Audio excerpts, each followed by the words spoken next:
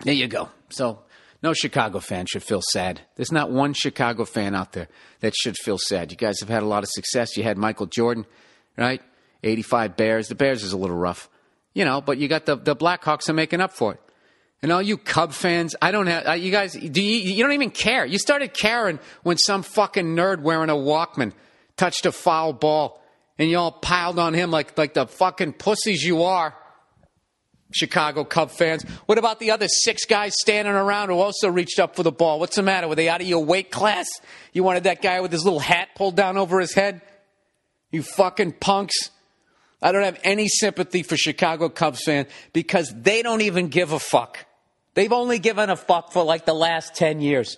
But other than that, it's just been take your shirt off and let's have a keg party. Nobody cares. You're, they're almost like an honorary baseball team. Like, ah, you know, just, just represent the fact that people like the game. You know, the White Sox fans, they care. They give a fuck. It's written all over their goddamn faces.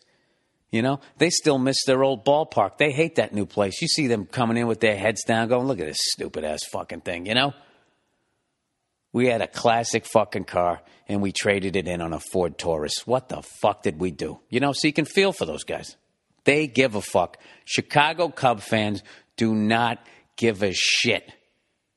All right? So if you're a tourist, if you ever go to Chicago and you run into somebody, you know, and they got a passion for what they're doing, that's a White Sox fan. If you run into just some fucking jerk off, you know, sitting there wearing loafers with no socks, you know, and some silly fucking let's play two hat, that is a Cubs fan and they are not to be respected.